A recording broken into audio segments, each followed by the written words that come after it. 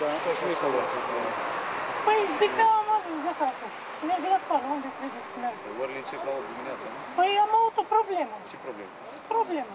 Am avut sport. Și fii frecvent aici? Da. Nu.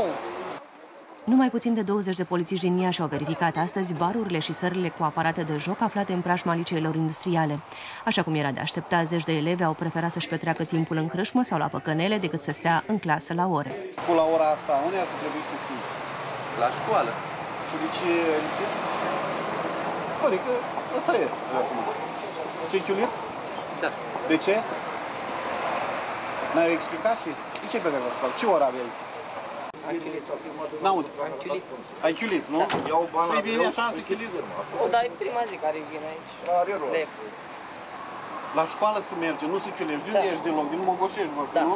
Acolo și stai? Faci Da. naveta sau stai la câine? Naveta. Faci naveta și părinții tăi știu că ești la școală.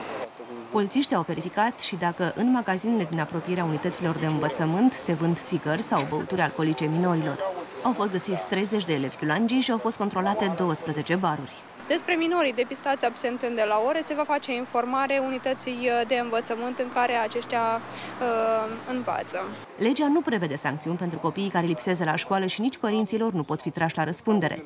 În anul școlar trecut, în județul Iași, media absențelor a fost de 2,6 per elev în învățământul primar și de 17 absențe pe elev la liceu.